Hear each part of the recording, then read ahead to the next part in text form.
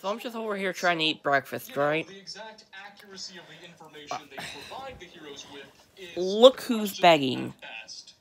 But given the fact that the writer of Look into the- look who- look at that boy. lore Of the Fallout universe, it seems very likely that he was told to include this plot point by someone at the studio who really wanted to see it done. Meaning, this likely may have been Interplay's original opinion on how the Great War was supposed to have started. That's a bro moment. But never released,